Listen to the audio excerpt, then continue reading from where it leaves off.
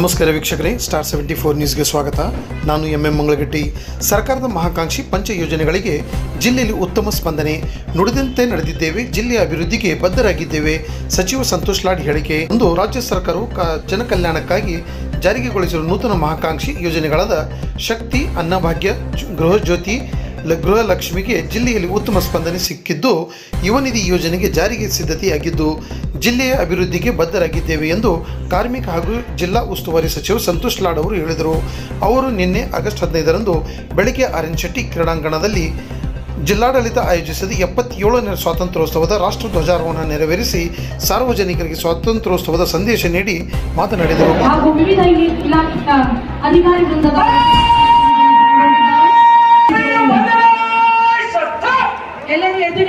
ಕೋರಿಕೊಳ್ತಾ ಇದ್ದೇವೆ. ರಾಷ್ಟ್ರ ಗಮನಕ್ಕಾಗಿ.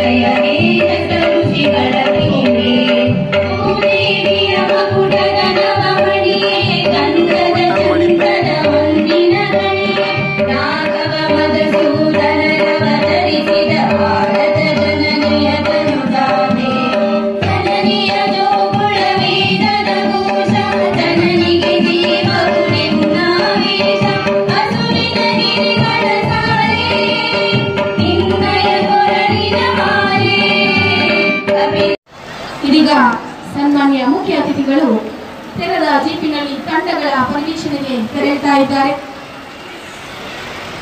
ಆಹ್ವಾನ ನೀಡಿರ್ತಕ್ಕಂಥದ್ದು ಎಲ್ಲರಿಗೂ ಕೂಡ ಸ್ವಾಗತವನ್ನು ಬಯಸ್ತಾ ಇದೀಗ ಮುಖ್ಯ ಸೌಧವಿಲ್ಲವಾದರೆ ಅದು ರಕ್ತವಲ್ಲ. ಕೇವಲ ನರಗಳಲ್ಲಿ ಹರಿಯುತ್ತಿರುವ ನೀರಷ್ಟೇ. ಯುವಜನತೆ ತಾಯ್ನಾಡಿಗಾಗಿ ಸೇವೆ ಸಲ್ಲಿಸುವುದಿಲ್ಲ ಎಂದರೆ ಅವರಲ್ಲಿರುವ ಚೈತನ್ಯದ ಹಿಂಭಾಗದಲ್ಲಿರುವಂತಹ ತಂಡ Bharat Sevadal commander Kumar Prajwal Gowda Patil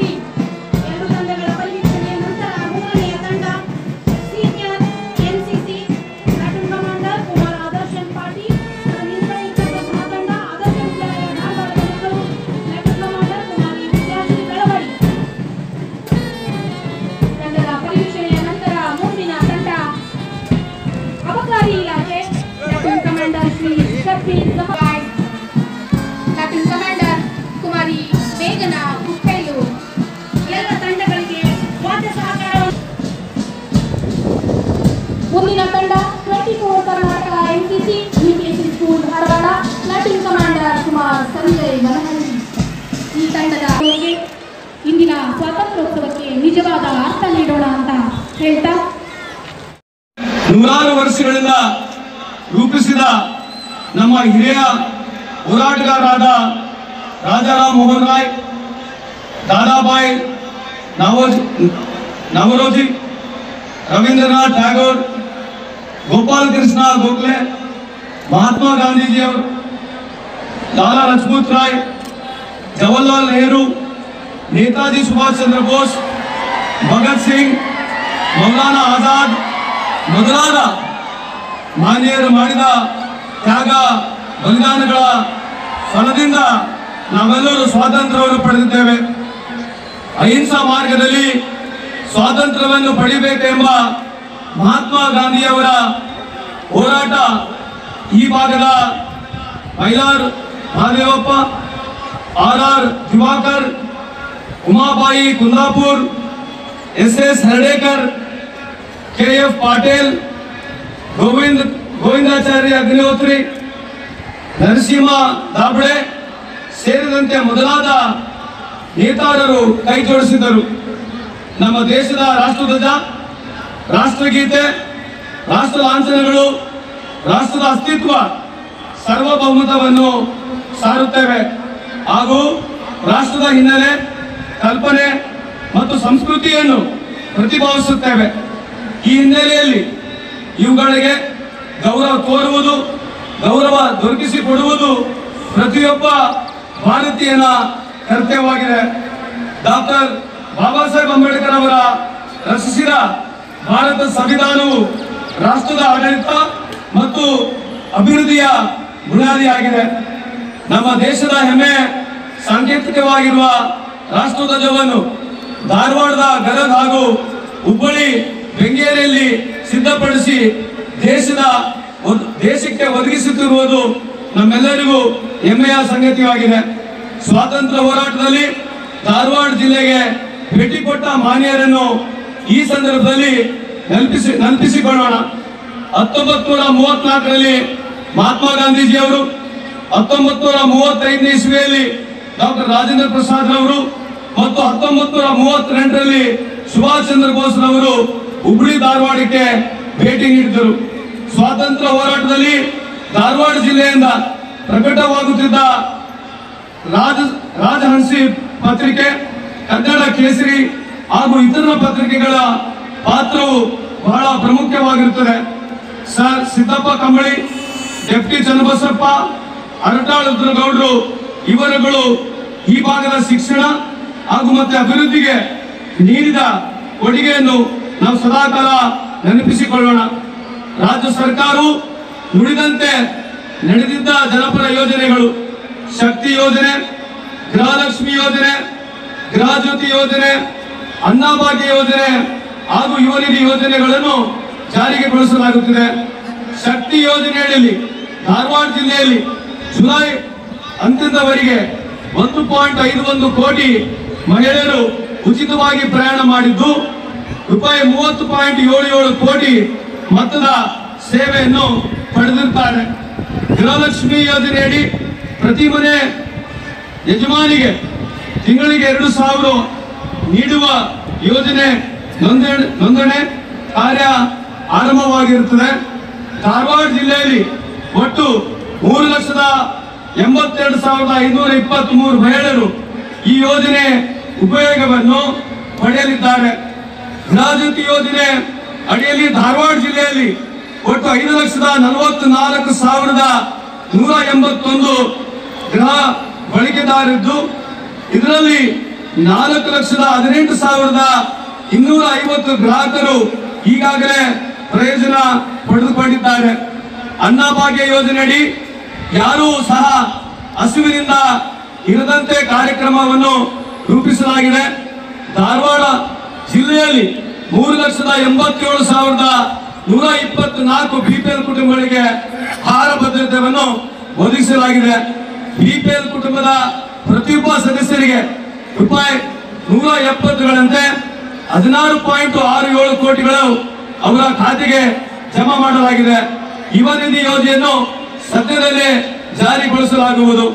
Dharwad ಜಿಲ್ಲೆಯಲ್ಲಿ ಹಲವು ವರ್ಷಗಳಿಂದ ಬೇಡಿಕೆಯಲ್ಲಿರುವ ಹದಿನೆಂಟು ಜನವಸತಿಗಳ, ಜನವಸತಿಗಳನ್ನ ಕೇಂದ್ರ ಗ್ರಾಮಗಳಾಗಿ ಮಾಡಲಾಗುವುದು ಇಪ್ಪತ್ಮೂರು, ಇಪ್ಪತ್ನಾಲ್ಕನೇ ಸಾಲಿನ ಮುಂಗಾರು ಹಂಗಾಮಿನಲ್ಲಿ ಎರಡು ಪಾಯಿಂಟ್ ಐದು ಏಳು ಲಕ್ಷ ಹೆಕ್ಟರ್ ಬಿತ್ತನೆ ಗುರಿ ಇದ್ದು ಈವರೆಗೆ ಒಂದು ಪಾಯಿಂಟ್ ಐದು ಏಳು ಲಕ್ಷ ಹೆಕ್ಟರ್ಗಳಷ್ಟು ಬಿತ್ತನೆ ಆಗಿದೆ. ಒಂದು ಒಂದು, ಇಪ್ಪತ್ಮೂರರಿಂದ ಎರಡು, ಎಂಟು ಇಪ್ಪತ್ಮೂರವರೆಗೆ ನಾನ್ನೂರ ಹದಿನೈದು ಮಿಲಿಮೀಟರ್ ವಾಡಿಕೆ ಮಳೆಗೆ ಮುನ್ನೂರ ತೊಂಬತ್ತೊಂದು ಮಿಲಿಮೀಟರ್ ಮಳೆ ಆಗಿರುತ್ತದೆ. ಮುಂಗಾರು ಹಂಗಾಮಿನಲ್ಲಿ ಒಟ್ಟು ಹನ್ನೊಂದು ಸಾವಿರದ ಮುನ್ನೂರು ಕ್ವಿಂಟಲ್ ವಿವಿಧ ಬಿತ್ತನೆ ಬೀಜಗಳು ವಿತರಿಸಲಾಗಿದೆ. ಹಾಗೂ ಮೂವತ್ತೈದು ಸಾವಿರದ ಎಂಟುನೂರ ಏಳು ಮೆಟ್ರಿಕ್ ಟನ್ಗಳಷ್ಟು ರಸಗೊಬ್ಬರವನ್ನು ವಿತರಿಸಲಾಗಿದೆ.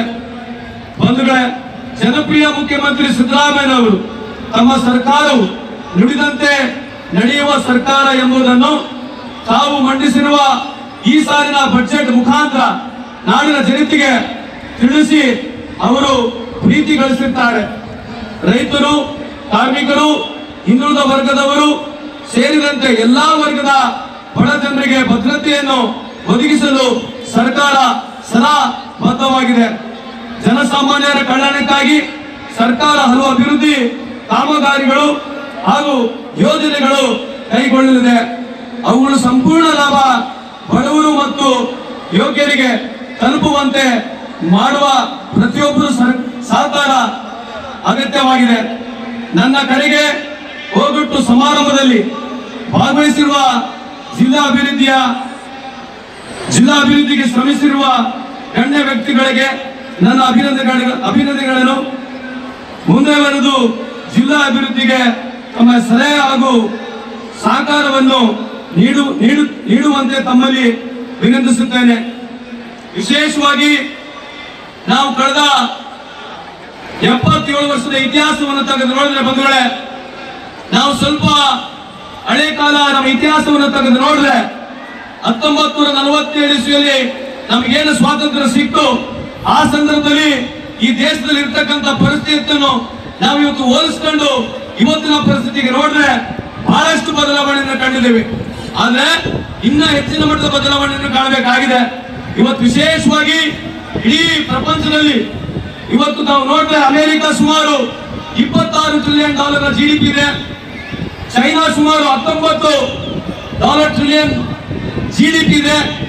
ಅದಾದ ನಂತರ ಜಪಾನ್ ನಾಲ್ಕು ಪಾಯಿಂಟ್ ನಾಲ್ಕು trillion dollar G D P ಇದೆ.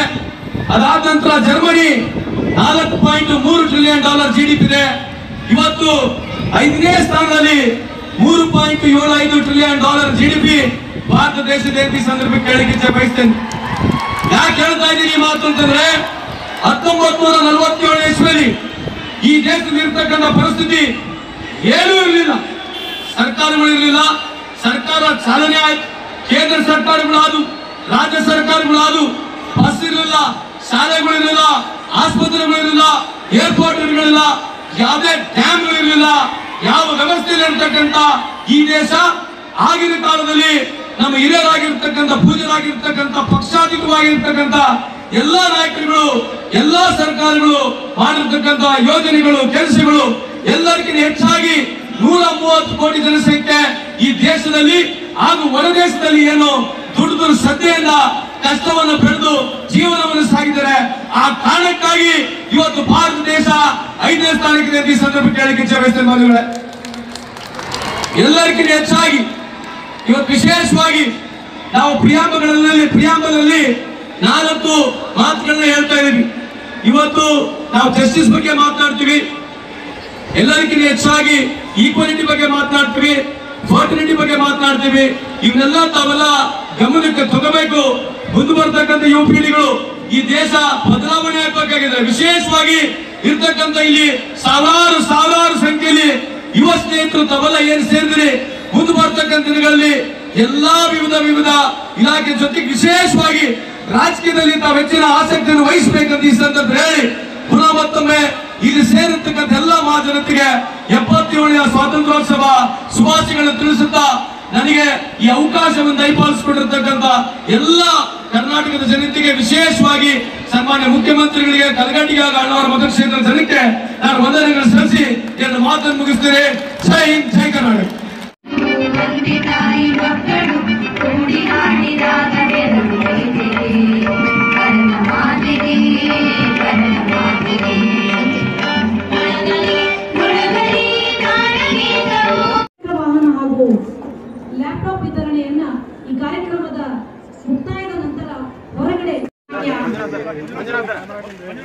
ಶ್ರೀ ಸಂತೋಷ್ ಲಾಡ್ ಸಾಹೇಬ್ ಹಾಗೂ ವಿವಿಧ ಅತಿಥಿ ಮಹೋದಯರು ಈ ಪುಸ್ತಕವನ್ನ ಬಿಡುಗಡೆ ಮಾಡಬೇಕು ಅಂತ ಹೇಳಿ ಕೇಳಿಕೊಳ್ತಾ ಇದ್ದೇವೆ. ಪ್ರಗತಿಪರ ಅವರಿಗೆ ವಾರ್ತಾ ಇಲಾಖೆಯ ಅಧಿಕಾರಿ ಹಾಗೂ ಸಿಬ್ಬಂದಿಗಳು ಸಹಕಾರವನ್ನು ನೀಡ್ತಾ ಇದ್ದಾರೆ. ಪ್ರಗತಿಪರ ಅಭಿವೃದ್ಧಿಗಾಗಿ ನುಡಿದ ವಿವಿಧ ಸಾಧನೆಗಳ ತಾಳೆ ಸಸಿಯನ್ನ ರೈತ ರಮೇಶ್ ಅಡವೆಪ್ಪ ಸದರಿಯವರಿಗೆ ಮಾನ್ಯ ಸಚಿವರು. ಸಾಧನೆ ಸಾಧಕರ ಸೊತ್ತೆ ಹೊರತು ಸೋಮಾರಿಗಳ ಸೊತ್ತಲ್ಲ. ಈ ಸಾಧನೆಯಲ್ಲಿರುವಂತಹ ಅವರ ಒಂದು ಆಂಕಾಲಜಿ. ಸನ್ಮಾನವನ್ನ ಸ್ವೀಕರಿಸಿದಂತಹ ಸನ್ಮಾನಗೈದಂತಹ ಸನ್ಮಾನ್ಯರಿಗೆ ಧನ್ಯವಾದಗಳು ವಿವಿಧ ಕ್ಷೇತ್ರಗಳಲ್ಲಿ ಶ್ರೀ ಎಂ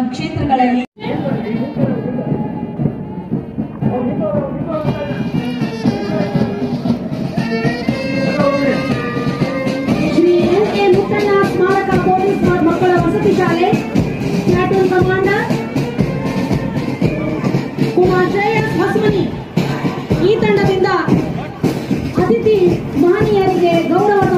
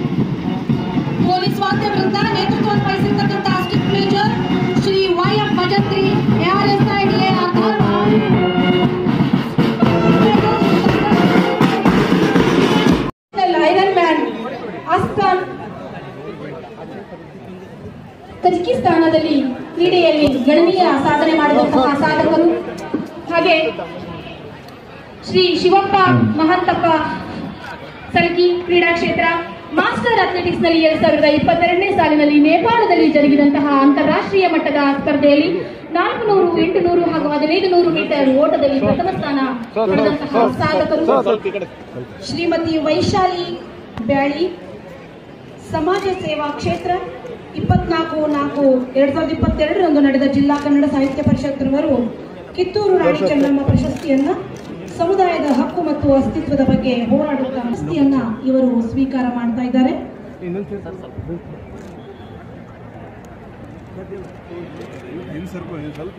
ಕ್ಷೇತ್ರದಲ್ಲಿ ಸಾಧನೆ ಮಾಡಿದಂತಹ ಸಾಧಕರು.